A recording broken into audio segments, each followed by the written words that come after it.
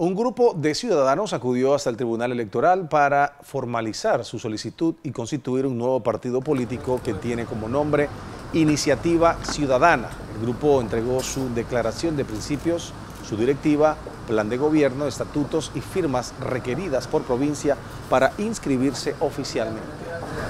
A todas aquellas personas que tengan una inclinación por la parte cívica, aquellos líderes comunitarios que, estemos ya, que están como nosotros estamos, cansados del espectáculo de los políticos actuales y que queremos transformar a nuestro país. Queremos invitarlos a que se sumen con nosotros. Iniciativa Ciudadana es un movimiento cívico que se expresa políticamente. Es un movimiento en el que, el, como dije antes, el ciudadano es el que va a tener la voz y el voto para decidir qué es lo que quiere en su entorno y para su vida y para sus hijos.